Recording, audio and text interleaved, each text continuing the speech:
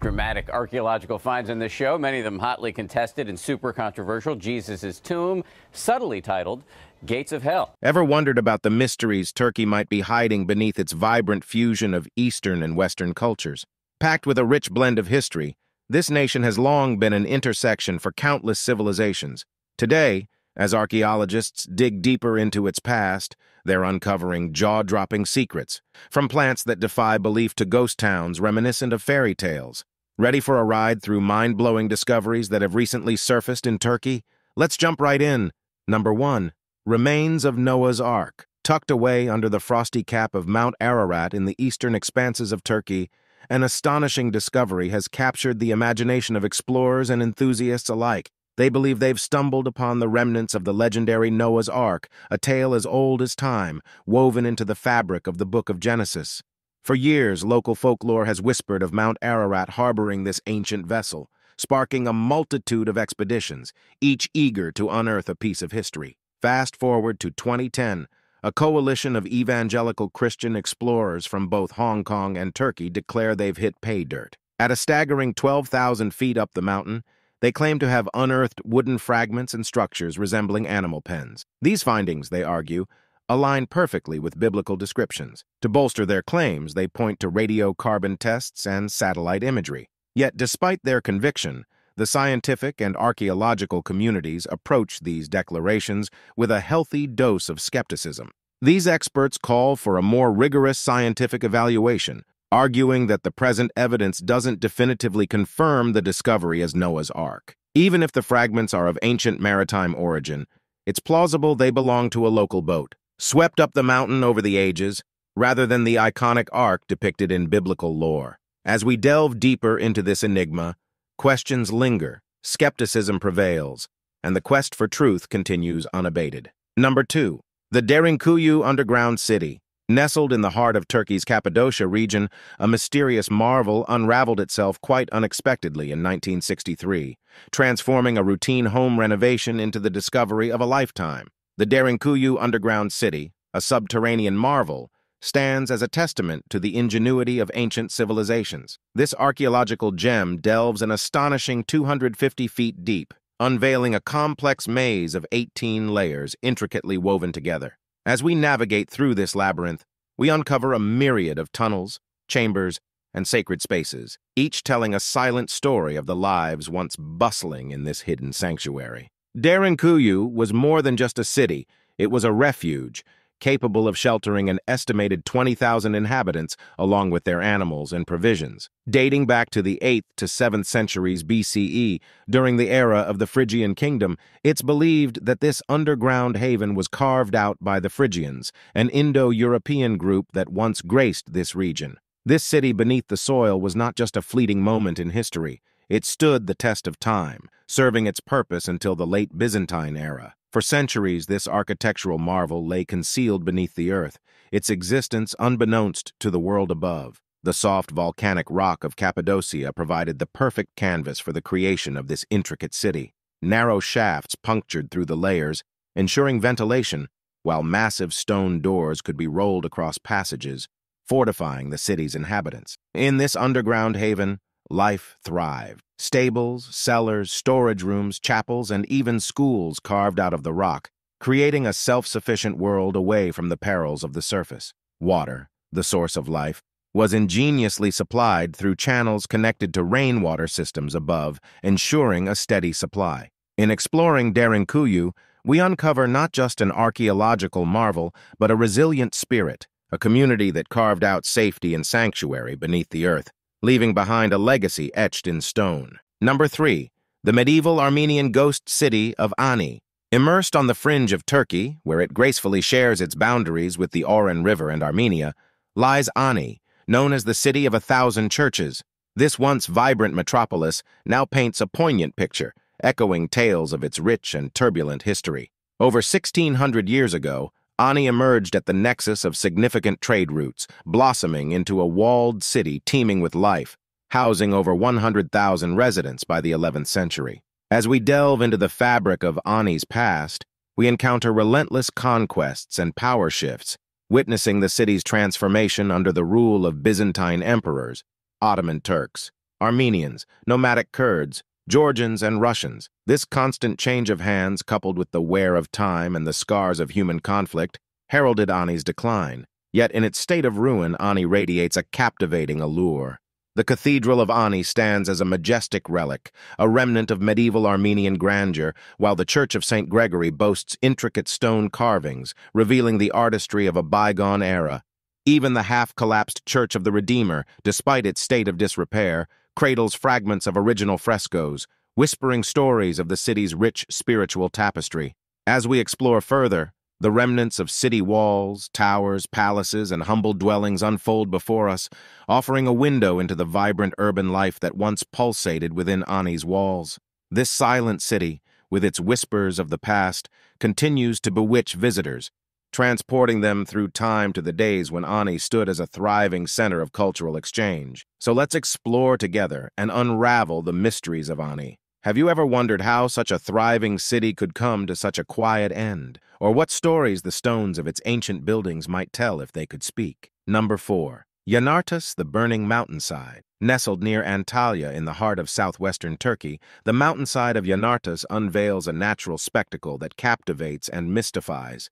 Here, amidst the rocky cliffs, small flames perform a ceaseless dance, powered by the underground reserves of methane gas. This extraordinary phenomenon has coined Yanartas its name, translating to flaming rock in Turkish.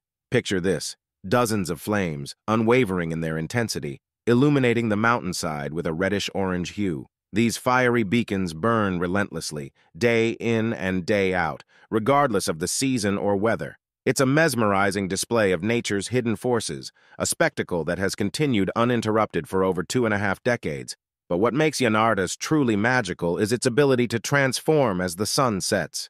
As darkness envelops the landscape, the flickering flames paint the mountain face with a surreal, fiery glow, captivating the eyes and imaginations of those fortunate enough to witness it. It's a scene that beckons travelers from afar, inviting them to stand in awe of this eternal blaze. And as with any natural marvel, Yanartas is shrouded in mythology and legend. Ancient Greek tales speak of Chimera, a fire-breathing monster said to roam these very grounds. The hero Bellerophon, famed in Greek lore, is celebrated for slaying this beast. Today, the perpetual flames of Yanartas are thought to be the lingering breath of this mythical creature, a tangible connection to the legends of old. So what do you think fueled these fires for all these years? And how has the methane managed to maintain such a steady supply? Share your thoughts, theories, or any other fascinating facts you might know about this or similar phenomena. Number 5. The Ancient Titus Tunnel. Can you imagine digging through a colossal limestone hillside, armed only with tools from over two millennia ago? That's exactly what the Romans accomplished near the city of Ania in southern Turkey. Behold the Titus Tunnel, a remarkable testament to the Roman architectural and engineering genius. This colossal conduit, spanning around 1,400 feet, is more than just an underground marvel. It was the ancient city's savior. Two thousand years ago, floodwaters menaced the nearby city of Seleucia Pieria, threatening its harbor and daily operations. Enter the Romans with a groundbreaking solution, literally. The Titus Tunnel, named after Emperor Titus, who oversaw its completion during his short reign from 79 to 81 AD, wasn't just about grandeur, it was a necessity, its role, to ingeniously divert those floodwaters and protect Seleucia Pieria. As you journey through this massive tunnel, you'd notice an intriguing Greek inscription that throws light on its imperial association. Emperor Titus might have the naming rights, but the inception of this mega project traces back to his father, Emperor Vespasian. Beyond Titus's reign, the tunnel caught the attention of Emperor Antonius Pius, who undertook the crucial task of repairs and further enhancements in the 2nd century AD. The tunnel is an architectural spectacle. It starts with a generous width of around 20 feet, gradually tapering to a mere 10 feet. The arched corridor towers at over 15 feet high. As you venture deeper, the intricately carved niches and strategic air shafts catch your eye, symbolizing the meticulous planning behind this ancient marvel. Now imagine walking along this historic path, thinking of the Romans who once worked here. How do you think they tackled the challenges of building such a complex structure with the tools they had? Share your thoughts. Number 6. Now it's time for today's subscriber pick. Picture this. Scientists in Turkey, immersed in their exploration, stumble upon an enigma, a hidden underground entrance, shrouded in mystery. Initially, the revelation of this entrance didn't stir much astonishment, but as attempts were made to explore deeper, a surprising obstacle emerged. The path was obstructed by an assortment of rocks, almost as though someone, or something, had intentionally sealed it off centuries ago. Now, let's journey back in time. The Phrygians, an ancient Indo-European civilization in central and western Turkey, were known to possess knowledge of a mystical portal, the fabled Cilician Gates. Legends whispered of this gate as a threshold to another realm, perhaps even the underworld itself. Can you imagine the stories and secrets these stones might hold? Today, we're left pondering and piecing together fragments of the past. Were these ancient civilizations privy to secrets that have since been lost to time? What mysteries did the Cilician Gates conceal? Could there be a grain of truth in the tales of portals to other realms? We invite you, our curious viewers, to dive into this historical puzzle. What are your thoughts on these ancient legends? Could these rocks be a relic of a forgotten gateway? Share your theories and join us in unraveling the secrets of the past. Stay tuned as we continue to explore the mysteries that history has left behind. Number 7.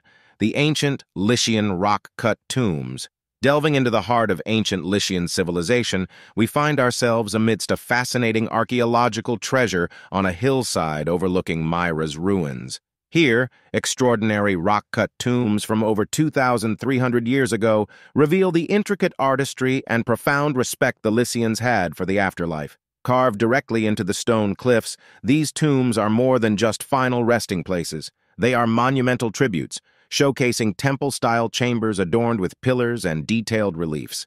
It's a testament to the Lycians' architectural genius and their deep-rooted cultural practices. The ancient necropolis is divided into two significant sections, the river and ocean necropolises, each with its unique characteristics and artistic expressions. The rock tombs vary in complexity, ranging from simple arched nooks to elaborate multi-story temples, richly decorated with carvings. Most of these structures date back to the 4th to 2nd centuries BCE, marking a significant period in Lycian history. In the ocean necropolis, the rock facades come alive with vivid reliefs, depicting sculpted figures and scenes from the lives of the nobility. One particular tomb stands out, with its entrance featuring a remarkable carving of 11 life-sized figures, representing a noble Lycian family, and their servants in a procession to the afterlife. On the other hand, the river necropolis offers a different visual feast, with tombs resembling Greek temples, complete with intricately carved columns and pediments.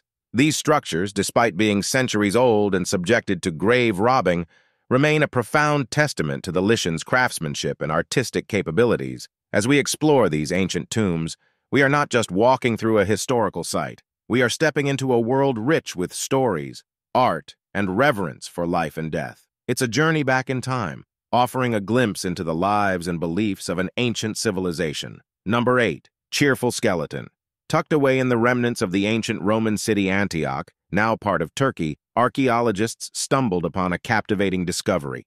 A mosaic floor vividly portraying a skeleton in a rather jolly demeanor, dating back to the 3rd century BCE. This skeleton, far from morbid, is found reclining leisurely on a dining couch, wine jug in hand, embodying the epitome of cheerfulness. Surrounding this whimsical figure is a Greek inscription, translating to, be cheerful, enjoy your life, a phrase that resonates deeply even in our times. This particular mosaic, aptly named the Baccalian skeleton, was unearthed in what is believed to have been the affluent quarters of a Roman household in Antioch, situated alongside two other intricate mosaic floors, these additional artworks depict scenes of dining and bathing, likely adorning the triclinium or formal dining room, adding to the luxurious ambiance of the space.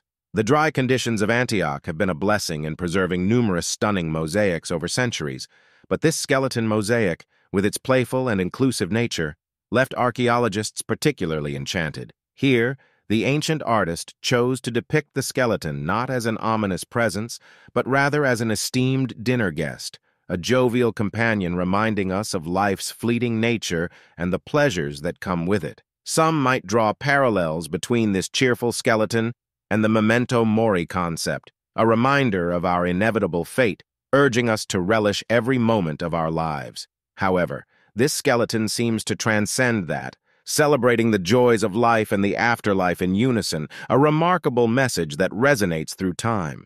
With its vivid imagery and light-hearted take on mortality, this Baccalian skeleton mosaic provides a unique window into the ancient Greek and Roman perspectives on death and the afterlife. It portrays a society comfortable with its own mortality, embracing the fleeting nature of life with open arms and a wine jug in hand. Number 9. Dracula Dungeons. Nestled beneath the historic grandeur of Tokat Castle in northern Turkey, a maze of subterranean tunnels, dungeons, and secret chambers has recently been unearthed by archaeologists sparking intrigue and mystery. These hidden recesses of the castle are thought to have once been the confinements of Vlad the Impaler, the notorious 15th century ruler of Wallachia, whose brutal reign was the inspiration behind Bram Stoker's iconic character Dracula. Originally constructed in the 2nd century CE by Roman Emperor Commodus, Tokat Castle later fell into Ottoman hands in 1393. It was during this tumultuous period that Vlad, alongside his brother, found themselves captives within these very walls, used as pawns against their father, who was challenging Ottoman dominance by aligning with Hungary. The discovery of these clandestine chambers, replete with brick arches, medieval tools, and stone carvings, parallels descriptions of Vlad's harrowing imprisonment and torture, lending weight to the belief that these underground spaces may indeed be the very places where he endured his captivity. While it is challenging to definitively connect Vlad the Impaler to these dungeons, the archaeological findings align seamlessly with the 15th century time frame of his and his brother's captivity. Beyond the potential connection to Vlad, these subterranean spaces offer a captivating glimpse into the complex regional power dynamics of the era and the strategic role Tokat Castle played in these historical machinations. The dungeons and secret chambers were likely utilized by the Ottomans to secure political prisoners, fortifying their hold over the region. The ongoing renovations and excavations at Tokat Castle not only serve to preserve its dark and storied history, but also provide today's visitors with a tangible link to the past. Though Vlad's time within the castle's confines was brief before he returned to his infamous and brutal reign in Wallachia, the alleged dungeon of his captivity remains an enthralling chapter in the Dracula legend, captivating the imaginations of all who delve into the castle's shadowed past. So, what do you think about this discovery? Do you believe these chambers once held Vlad the Impaler? Share your thoughts and join us on this journey into history. Number 10. World's Oldest Swords. In 2022, the archaeological world was captivated by a remarkable find in eastern Turkey within the ancient city ruins of Arslantepe. Unearthed were nine copper swords, dating back an impressive 5,000 years to the early Bronze Age, making them what is believed to be the world's oldest surviving swords. These weapons, ranging from a modest 7 inches to a substantial 2 feet in length, were discovered meticulously buried together in what was once a palace armory, now left in ruins after a devastating fire. But what truly sets these swords apart is not just their age, but the exquisite craftsmanship and attention to detail evident in their design. Each sword is adorned with intricate silverwork, an embellishment added at the time of their forging, showcasing the high status and possibly even the ceremonial roles these blades once held. These delicate engravings speak volumes, revealing a society that not only valued their weapons, but saw them as an extension of their art and culture. It's a testament to the thriving center of innovation and specialized craftsmanship that Arslan Tepe must have been nearly 5,000 years ago. And the craftsmanship is nothing short of extraordinary. These weapons weren't just forged, they were created using a technique known as co-fusion bonding. This complex process involved bonding silver ornamentation onto an arsenical copper blade core during heating and casting, a technique that was as advanced as it was intricate. It's a discovery that has left archaeologists and historians alike in awe, prompting a reevaluation of our understanding of early metallurgy and craftsmanship. So let's ponder for a moment what does this discovery tell us about the society that once thrived in Arslantepe? How did these craftsmen achieve such a high level of skill? And what can these ancient blades teach us about innovation and artistry in the ancient world? Share your thoughts and join me in unraveling the mysteries of these ancient swords.